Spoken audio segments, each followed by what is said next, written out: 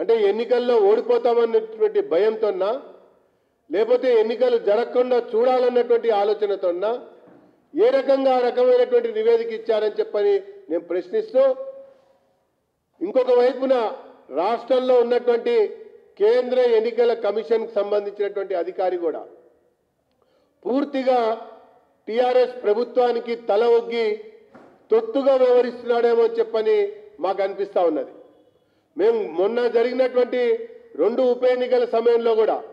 హుజూర్ నగర్ సంబంధించినటువంటి ఉప ఎన్నిక సమయంలో కూడా అధికార పార్టీ నిమ్మకు నీరెత్తినట్టు వ్యవహరించి ఎన్నికల నియమావళిని తుంగలో దొక్కి యథేచ్ఛగా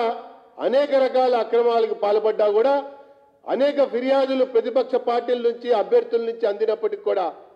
ఈ యొక్క ఎన్నికల అధికారి వ్యవహారం ఏ రకంగా ఉందో అందరూ కూడా చూశారు. నాగార్జున సాగర్ సంబంధించినటువంటి ఉప ఎన్నిక సమయం సందర్భంలో కూడా మద్యం ఏరులే పారినా ధనం ఏరులే పారినా ఓటర్లను ప్రభావితం చేసి అనేక రకాలుగా ప్రలోభపెట్టి రకరకాల వ్యాఖ్యలతో ఓటర్లను ప్రభావితం చేస్తున్నప్పటికి కూడా చేసినప్పటికి కూడా అనేక ఫిర్యాదులు మరి ఈ యొక్క ఎన్నికల కమిషన్కి అందినా కూడా